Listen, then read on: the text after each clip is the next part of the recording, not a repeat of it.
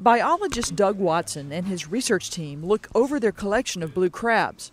Watson's study of the species is focused on the animal's molting process, or the shedding of its tough exoskeleton. Molting allows the crab to grow, and before its new, larger exoskeleton has a chance to harden, the crab is softer and more pliable for a period of hours. And it's in that short window of time when the soft-shelled crab, the newly molted crab, is considered to be a, a delicacy by uh, lovers of seafood. The crab's molting pattern presents a challenge to the $50 million Gulf Coast crabbing industry. The, the soft crab industry in the Gulf states is uh, limited because these freshly molted crabs are available only on a seasonal basis.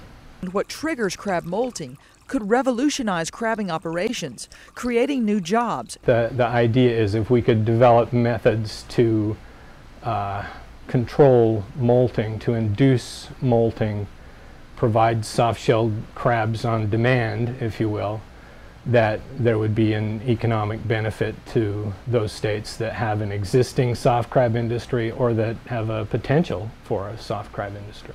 Watson believes his team is the first to discover the hormone receptor that inhibits molting and will soon test compounds designed to block the receptor and thus induce molting. In vitro, in the petri dish, the uh, receptor blocker blocks the effect of molt inhibiting hormone. So what we want to do now is test it in crabs and see if it will induce molting in crabs understanding how crustaceans like the blue crab grow is important and could lead to unexpected and important future findings with still unknown and potentially widespread implications.